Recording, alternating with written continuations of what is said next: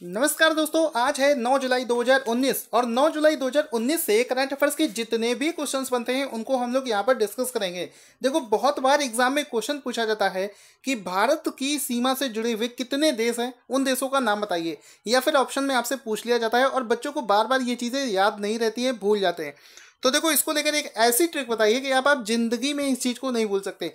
आपको सिर्फ़ ये याद रखना है कि बचपन में एमबीए किया बचपन में एमबीए किया, याद रखना, बचपन में एम किया, सिर्फ़ इतना याद रखने से आप सभी देशों के नाम याद रख लोगे। उससे पहले उससे पहले मैं आपको वो वाला क्वेश्चन करवाता हूँ, जिसकी वजह से इस क्वेश्चन की आज हम लोग यहाँ पर डिस्कशन कर रहे हैं। तो देखो, आज का सबसे पहला क्वेश्चन क्या बना है, उसको समझते हैं। तो दोस्तों करंट अफेयर्स 2019 के पहले क्वेश्चन से शुरुआत करते हैं। देखो, पहला क्वेश्चन है कि भारत के किस पड़ोसी देश की सीमा पर ऑपरेशन सुदर्शन शुरू किया गया है। तो देखो, भारत का पड़ोसी देश जिसका नाम है पाकिस्तान, जिससे भारत और पाकिस्तान के बीच में हमेशा कुछ ना कुछ अनबन चलती रहती है। तो यहाँ पर देखो, भारत ने जो पाकिस्तान की सीमा है, उस पर एक या कह सकते हो, ऑपरेशन लॉन्च किया है। उस ऑपरेशन का नाम याद रखना, फिर से बता दे रहा हूँ। ऑपरेशन सुदर्शन, इसका नाम है, एक बार अपने मन में रिवाइज कर लो। खुद से क्वेश्चन पूछकर देखो और खुद से उसका आंसर देके देखो। हर क्वेश्चन में आपको ऐसा ही करना है, तब जाकर आपको सारी चीज़ें याद होगी। तो ऑपरेशन सुदर्शन जो है, ये भारत और पाकिस्तान के बॉर्डर पर किया गया है।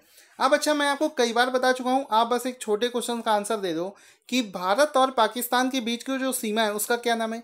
भारत और अफ़गानिस्तान और भारत और चाइना, इन तीनों के बीच की जो सीमा है, उनका नाम क्या है? क्योंकि मैं कई बार आपको ये चीज़ें बता चुका हूँ। अब देखो, आगे चलते कुछ और समझते हैं।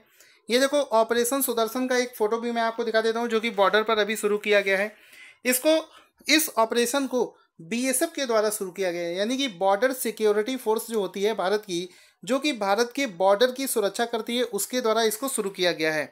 अब यहाँ पर हम लोग जानेंगे, चूँकि ये क्वेश्चन जुड़ा हुआ है भारत की सीमा से तो भारत की सीमा वाला टॉपिक हम लोग पूरा अच्छे से कर लेते हैं, क्योंकि इससे क्वेश्चन बनने की चांसेस हैं। जैसे कि भारत की स्थल सीमा जो है, उसके पड़ोसी देश कौन कौन से हैं कौन कौन से देशों को यहाँ पर ये सीमा छूती है? तो अगर आपसे बोला जाए भारत के पड़ोसी देशों का नाम बताओ तो आप सबसे पहले दिमाग में आपका कहाँ चलेगा? आप सोचोगे, अरे हाँ पाकिस्तान तो मुझे याद है, पाकिस्तान हो गया। ठीक है, कुछ लोग कहेंगे, चाइना भी बड़ा सा है, दिख जाता है। नेपाल भी आपको दिख जाता है, भूटान भी आपको दिख रहा है, म्यांमार भी आपको दिख रहा है, बांग्लादेश भी आपको दिख रहा है। ठीक है, तीन ये हो गए, तीन ये हो गए। ये छह देश तो आपको दिख रहे हैं कि हाँ ये भारत की बाउंड्री से टच करते हैं। लेकिन आप क्वेश्चन कहाँ पर गलत करके आते हो, पता है? आपसे इन छह के बारे में क्वेश्चन नहीं पूछा जाएगा। एक ऐसा देश है जिसका सिर्फ़ और सिर्फ़ भारत का एक राज्य उससे जुड़ा हुआ है, बिल्कुल छोटा सा। वो यहाँ पर, ये आप देख रहे हो, यहाँ पर अफ़गानिस्तान से भी भारत जुड़ा हुआ है। अफ़गानिस्तान अक्सर हम लोग यहाँ पर मिस कर देते हैं और अफ़गानिस्तान से ही क्वेश्चन बनता है। अफ़गानिस्तान एकलौता ऐसा देश है जो कि भारत के किसी सिर्फ़ और सिर्फ़ एक राज्य से जुड़ा हुआ है। बाकी जितने भी देश हैं, वो भारत के दो दो या तीन राज्यों से जुड़े हुए हैं। ठीक? तो अफ़गानिस्तान भारत के जम्मू कश्मीर से जुड़ा हुआ है। ठीक है? इसी तरीके से करंट अफेयर्स में आगे देखो क्या पढ़ेंगे। अगर आपको ये चीज़ दिमाग में बैठाने से आपको भूल जाते हैं तो आपको सिर्फ़ इतनी याद रखनी है ट्रिक बचपन में एमबीए किया। अगर आप सिर्फ़ इतना याद रखते हैं तो आप सभी देशों का नाम याद रख पाएँगे। जैसे कि बचपन में, देखो, बा से मतलब हुआ बांग्लादेश, ठीक है? चा से मतलब बचपन में, चा से मतलब हुआ चाइना, पा पा से मतलब हुआ पाकिस्तान, फिर ना ना से मतलब हुआ नेपाल, फिर माँ माँ से मतलब हुआ म्यांमार। उसके बाद में आगे चलते हैं। एमबीए किया तो बी बी से मतलब हुआ भूटान ए ए से मतलब हुआ अफ़गानिस्तान ठीक है? इस तरीके से आप सातों देशों का नाम याद रख सकते हैं। यहाँ पर एक चीज़ और आपको याद रखनी है कि ये जो क्रम मैंने बनाया है, बचपन में एमबीए किया, ये उनके बॉर्डर की जो लंबाई है, उसके घटते हुए क्रम में रखी गई है। यानी कि यहाँ पर एक और क्वेश्चन बन सकता है। आपसे पूछा जाए, भारत के सात जो पड़ोसी देश हैं, जिनकी सीमाएँ भारत से मिलती हैं, उनमें से सबसे लंबी सीमा भारत और किस देश के बीच में है? तो आप तुरंत याद करोगे कि सर ने कुछ बताया था, बचपन में एमबीए किया। तो बचपन में बा से मतलब बांग्लादेश, यानी कि बांग्लादेश से जो सीमा है हमारी भारत की, वो सबसे ज़्यादा लंबी है। फिर अगर पूछा जाए भारत की सीमा सबसे छोटी सीमा किस पे है? तो बचपन में एमबीए किया, यानी कि ए एम तो अफ़गानिस्तान से मात्र 80 किलोमीटर की सीमा भारत और पाकिस्तान के बीच में है। सॉरी, भारत और अफ़गानिस्तान के बीच में है। तो इस तरीके से आप इसको याद रख सकते हो। इसके अलावा देखो एसएससी में एक और क्वेश्चन एक बार पूछा गया था कि भारत के कुल कितने राज्य हैं जो किसी पड़ोसी देश से जो, जो टच हो रहे हैं? तो ऐसे सत्रह राज्य हैं। इसके अलावा एक क्वेश्चन अफ़गानिस्तान भारत के सिर्फ़ एक राज्य से जुड़ता है उसका नाम क्या है? तो वो जम्मू कश्मीर से जुड़ता है। ये सारे क्वेश्चन सारे पॉइंट्स मैंने आपके एसएससी के क्वेश्चन से निकाले हैं। इसके अलावा देखो अलग अलग लेवल पर भी क्वेश्चन पूछे जाते हैं। जैसे कि आप अगर आपसे पूछ लिया जाए कि जो पाकिस्तान है ये भारत के कौन कौन से राज्य से जुड़ा हुआ है? उसको लेकर भी मैंने ट्रिक बनाई है। यानी कि इस भारत के जितने भी सात देशों जुड़, से जुड़ा हुआ है सातों देश भारत की जितने भी राज्यों से जुड़े हुए हैं उन राज्यों को लेकर भी एक ट्रिक है।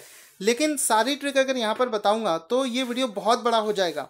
इस वजह से इसका पीडीएफ वीडियो के डिस्क्रिप्शन से ज़रूर डाउनलोड कर लेना रिवीजन करने के लिए ठीक है? सिर्फ़ मैं आपको दो तीन बताता हूँ जैसे कि पाकिस्तान अगर आपको याद करना है तो आपको सिर्फ़ याद रखना है पराग जम्बू गया। पराग जम्बू गया यानी कि पा से मतलब हो गया पंजाब जुड़ा हुआ है, रा से मतलब हुआ राजस्थान, गा से मतलब हुआ गुजरात और जम्बू गया, जम्मू मतलब जम्मू कश्मीर। यानी कि पाकिस्तान से भारत के चार राज्य जुड़े हुए हैं।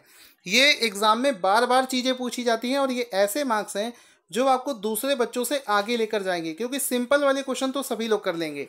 इसी तरीके से देखो, म्यांमार से जुड़े हुए हैं, उसके लिए भी मैंने ट्रिक बना रखी, माई नेम मियाँ। ठीक है, इसी तरीके से देखो, बांग्लादेश से जुड़े हुए, उसके लिए ट्रिक है, बाप मेरा अमित्र। ठीक है, इसी तरीके से और भी दे रखे हैं, लेकिन ये सारी चीज़ें आप पीडीएफ डाउनलोड करके रिवाइज कर लेना। अगले क्वेश्चन में जाने से पहले एक ज़रूरी सूचना। जिन लोगों ने हमारे चैनल से पिछले छः महीने का, यानी कि जनवरी से लेकर जून तक के मंथली करंट अफेयर्स का पीडीएफ अभी तक परचेज नहीं किया है एग्ज़ाम आने वाले हैं। अगर आप एग्ज़ाम क्वालिफाई करना चाहते हैं पहले अटेम्प्ट में तो विश्वास मानिए, हमारी पीडीएफ से बाहर 95 परसेंट से ज़्यादा क्वेश्चन आपको एग्ज़ाम में मिल जाएँगे और हमारी पीडीएफ से बाहर आपके क्वेश्चंस नहीं जाएँगे। आप इसे एक बार एक्सपेरिमेंट बेसिस पर ले सकते हैं। मेरा ये विश्वास है, अगर आप एक बार हमारी पीडीएफ को टेस्ट करेंगे तो विश्वास मानिए, आप हमेशा इसके एडिक्टेड हो जाएँगे, क्योंकि हमारे क्वेश्चन एग्ज़ाम में आते हैं। फ़िलहाल चलते हैं करंट अफेयर्स के दूसरे क्वेश्चन के ऊपर। तो देखो डेली करंट अफेयर्स का दूसरा क्वेश्चन क्या बनता है कि हाल ही में किसे आईबीपीएस के डायरेक्टर के रूप में चुना गया है? तो आईबीपीएस जिसकी आप सभी लोग तैयारी करते हो आईबीपीएस पीओ आईबीपीएस आरआरबी तो आईबीपीएस एक इंस्टीट्यूट है जो कि रिक्रूटमेंट करवाता है। तो आईबीपीएस के नए जो डायरेक्टर बनाए गए हैं, वो बनाए गए हैं हरिदेश कुमार। याद रखना देखो आईबीपीएस का जिन लोगों ने इंटरव्यू दिया होगा, देखो, एक एक क्वेश्चन एग्ज़ाम में कई बार पूछा गया है कि आईबीपीएस का फुल फॉर्म क्या होता है। बहुत सारे बच्चे ऐसे होते हैं जो इसका फुल फॉर्म भी नहीं बता पाते हैं। अगर आपको इसका फुल फॉर्म पता है तो बिना गूगल किए इसका फुल फॉर्म टाइप कर दीजिए। मैं देखना चाहता हूँ कितने ऐसे बच्चे हैं जिनको इनका नाम, इसका नाम पता है। तो आईबीपीएस के नए डायरेक्टर बनाए गए हैं हरिदेश कुमार। यहाँ पर आप आईबीपीएस का फ़ोटो देख सकते हैं, साथ ही साथ में हरिदेश कुमार का भी फ़ोटो देख सकते हैं जिनको कि बहुत ही शॉर्ट ड्यूरेशन यानी कि मात्र। यहाँ पर आपको तीन वर्ष के लिए इनको ऐसा डायरेक्टर बनाया गया है। अगला प्रश्न चलते हैं। अगले क्वेश्चन में करवाने से पहले आप लोगों से रिक्वेस्ट है एक एक वीडियो में अलग अलग जगह से इन्फॉर्मेशन जोड़ने में बहुत ज़्यादा मेहनत लगती है। सिर्फ़ और सिर्फ़ आपको एक सेकंड निकाल कर वीडियो को लाइक कर देना है। जितने भी आपके दोस्त हैं, उन सभी के साथ में वीडियो को शेयर करना है। आज का टारगेट रखने की कम से कम तीन हज़ार बच्चे इस वीडियो को शेयर करेंगे। थैंक यू अगला क्वेश्चन देखो, क्या बना है? अगला क्वेश्चन है फीफा महिला विश्व कप 2019 का खिताब किस देश ने जीत लिया है? तो हाल ही में फीफा महिला विश्व कप 2019 का जो खिताब है, इसको अमेरिका ने जीत लिया है। ऑप्शन ए यहाँ पर बिल्कुल सही हो जाएगा। यहाँ पर आप देख सकते हैं, इसका फ़ोटो भी मैं आपको दिखा देता हूँ। अमेरिका ने फीफा वुमेंस वर्ल्ड कप 2019 को जीत लिया है। यहाँ पर एक क्वेश्चन और बन सकता है कि ये जो इस बार का फीफा महिला विश्व कप 2019 है, ये कौन से देश में ऑर्गेनाइज किया गया है? तो इसको देखो, फ्रांस में आयोजित किया गया है। किसको हराकर अमेरिका जीता है? तो यहाँ पर नीदरलैंड को दो ज़ीरो से हराकर इसने जीता है। इसके अलावा फीफा से जुड़े हुए बहुत दिनों से करंट अफेयर्स के क्वेश्चंस बन रहे हैं तो इसको एक काम करते हैं। जल्दी से हम लोग फीफा से जुड़े हुए करंट अफेयर्स के जितने भी क्वेश्चन हैं, उनको रिवाइज कर लेते हैं। पहला क्वेश्चन क्या है? कि अभी हाल ही में फीफा में भारत की रैंकिंग जारी करी गई थी। तो भारत की उसमें रैंकिंग कौन सी है? एक सौ एकवीं, ठीक है? इसके अलावा भारत के एक व्यक्ति हैं जिनका नाम है प्रफुल्ल पटेल। वो फीफा में कार्यकारी परिषद के सदस्य के रूप में चुने जाने वाले पहले भारतीय बन गए हैं। तो अगर आपसे पूछा जाए, फीफा में भारत का कोई अगर सदस्य बना है तो वो कौन बना है? तो प्रफुल्ल पटेल, उसका आंसर कर देना। चीज़ों को समझते चलना, याद करते हुए चलना, सिर्फ़ आप, सिर्फ़ सुनने से आपको याद नहीं होगा। हर एक पॉइंट को एक बार वीडियो को पॉज करके मेमोराइज करते हुए चलो, खुद से मन में इसको बोलकर देखो। भारत 2020 में अंडर 17 महिला फुटबॉल विश्व कप की मेजबानी करेगा। ये पॉइंट्स है, याद रखना एग्ज़ाम में आपसे पूछे जा सकते हैं। अगला प्रश्न देखो, बन सकता है कि वर्ष 2018 का Balkan athlete of the year पुरस्कार किसे दिया गया था? तो ये दिया गया था ल्यूका मेड्रिक को दिसंबर 2018 में ये क्वेश्चन मैंने आपको करवाया था। अगर आपको नहीं याद है तो आप इसे फिर से रिवीजन कर लीजिए। अगला प्रश्न है, इक्कीसवां यानी कि 2019 का इक्कीसवां राष्ट्रमंडल टेबल टेनिस चैंपियनशिप भारत के किस राज्य में आयोजित की जा रही है? तो इसको भारत के राज्य में उड़ीसा में आयोजित किया जाएगा। ऑप्शन ए यहाँ पर बिल्कुल सही हो जाएगा। टेबल टेनिस, ये जो इक्कीसवां राष्ट्रमंडल चैंपियनशिप है, इसको भारत के राज्य उड़ीसा में ऑर्गेनाइज किया जाएगा, जिसको कि उड़ीसा में सत्रह से बाईस जुलाई को ऑर्गेनाइज किया जाएगा। और कुल मिलाकर चौदह संघों से अलग अलग टीमें यहाँ पर पार्टिसिपेट करेंगी। चूँकि बात यहाँ पर उड़ीसा को लेकर हुई है तो उड़ीसा के जो इस समय के सीएम हैं, उनका नाम है नवीन पटनायक। उड़ीसा के जो राज्यपाल हैं, उनका नाम है गणेशी लाल अभी देखो, बहुत दिनों से न्यूज़ में दिखा रहा था कि मेघालय में अवैध खनन चल रहा है। आपने भी न्यूज़ में देखा होगा, इस तरीके से अवैध खनन वहाँ पर चल रहा है। तो इसको लेकर देखो क्वेश्चन क्या बना है? सर्वोच्च न्यायालय ने अवैध कोयला खनन के लिए मेघालय सरकार पर कितने करोड़ रुपए का जुर्माना लगाया है? तो मेघालय सरकार पर सर्वोच्च न्यायालय ने सौ करोड़ रुपए हंड्रेड करोड़ सौ करोड़ रुपए का अभी जुर्माना लगाया है, क्योंकि वहाँ पर अवैध खनन का काम चल रहा था। यहाँ पर आप फ़ोटो भी देख सकते हैं, अवैध खनन किस तरीके से वहाँ पर किया जाता है, इसका एक फ़ोटो यहाँ पर आप देख सकते हैं। तो दोस्तों टुडेज करंट अफेयर्स का अगला क्वेश्चन क्या बनेगा? अगला क्वेश्चन है कि भारत के किस राज्य में बोनालू उत्सव की शुरुआत करी गई है? तो ये देखो, बोनालू नाम का जो उत्सव है, इसको भारत के तेलंगाना राज्य में हाल ही में शुरू किया गया है। तो यहाँ पर आप देख सकते हैं ऑप्शन डी बिल्कुल सही हो जाएगा। कि भारत के तेलंगाना राज्य में बोनालू उत्सव की हाल ही में शुरुआत करी गई है, जिसका कि आप एक फ़ोटो देख सकते हैं, जिसमें बहुत सारी स्त्रियाँ पार्टिसिपेट करती हैं और बहुत ही ऑस्पीसियस त्यौहार के रूप में वहाँ पर इसको सेलिब्रेट किया जाता है। यहाँ पर देखो, वहाँ पर तेलंगाना में एक गोलकोंडा किला है, जहाँ पर जगदम्बा मंदिर में वार्षिक उत्सव के रूप में इसको मनाया जाता है। साथ ही साथ में ये जो बेनालू उत्सव है, ये तेलंगाना का राज्य उत्सव के रूप में भी जाना जाता है।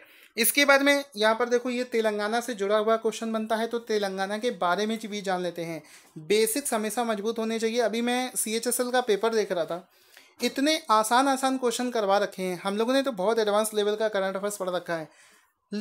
स्टेट के गवर्नर स्टेट के सीएम पूछे गए हैं। ये सब तो आप चुटकी में कर दोगे। तेलंगाना के जो सीएम है, उनका नाम है के चंद्रशेखर राव। वहाँ की जो कैपिटल है, हैदराबाद है। और राज्यपाल का नाम है ई एस एल नरसिम्हन। तो दोस्तों, आठ जुलाई 2019 का अगला क्वेश्चन क्या बनता है? करंट अफेयर्स का अगला क्वेश्चन बनेगा। कुटनो एथलेटिक्स मीट में भारत ने कितने स्वर्ण पदक जीत लिए हैं?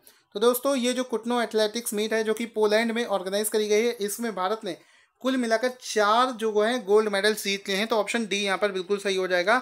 यहाँ पर आपको पूरा इसके बारे में डिटेल में बताते हैं। सबसे पहले तो ये जानो, भारत ने अब तक वहाँ, भारत ने वहाँ पर चार गोल्ड मेडल जीत लिए हैं।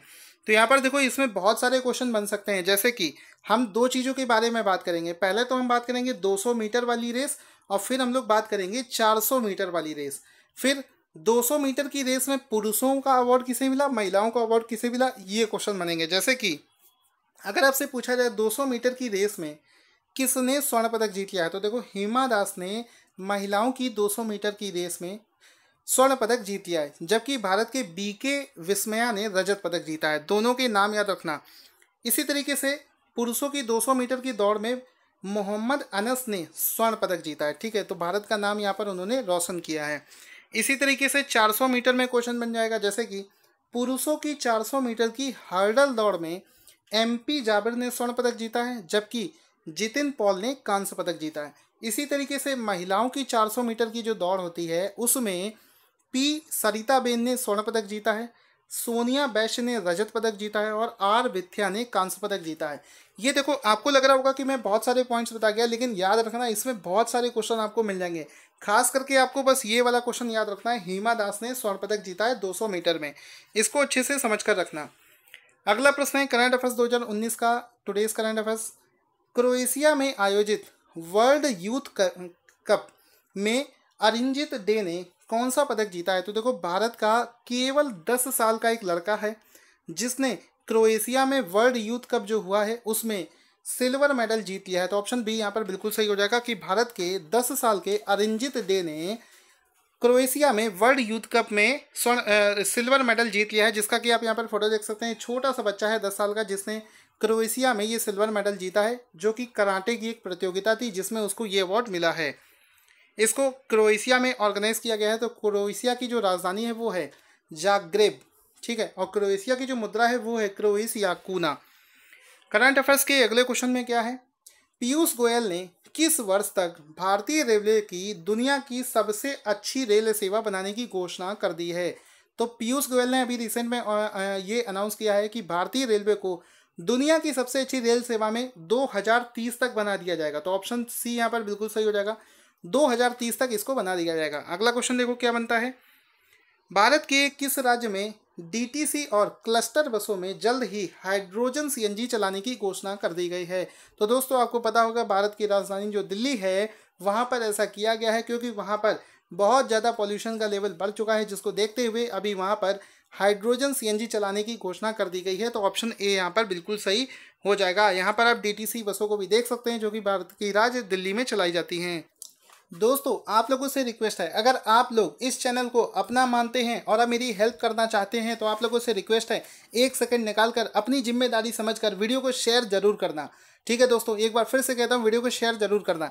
आज जो मैं आपसे क्वेश्चन पूछने वाला हूँ, वो थोड़े से डिफ़िकल्ट हो सकते हैं, क्योंकि वो जून महीने के अवार्ड्स वाले क्वेश्चन हैं, जिनको मैं यहाँ पर पूछने वाला हूँ। जैसे कि पहला क्वेश्चन बनता है, हाल ही में किस भारतीय लेखिका को वर्ष 2019 के नाइन डॉट्स पुरस्कार से सम्मानित किया गया है?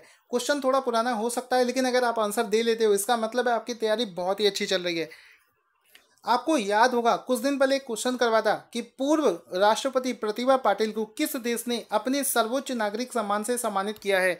जल्दी से आंसर बता, इसी तरीके से एक प्रश्न करवाया था, अभिनेत्री शीला जे को के, जेसी डेनियल अवार्ड से सम्मानित किया गया है। जेसी डेनियल पुरस्कार भारत में किस भाषा का सर्वोच्च फ़िल्म सम्मान है?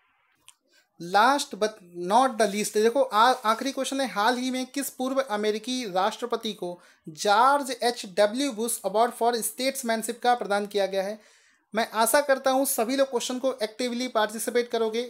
चार में से जितने भी क्वेश्चन आप दे पाते हैं आंसर सभी को देंगे। वीडियो को लाइक और ध्यान से ध्यान से ध्यान से इसको शेयर करना ना भूलें।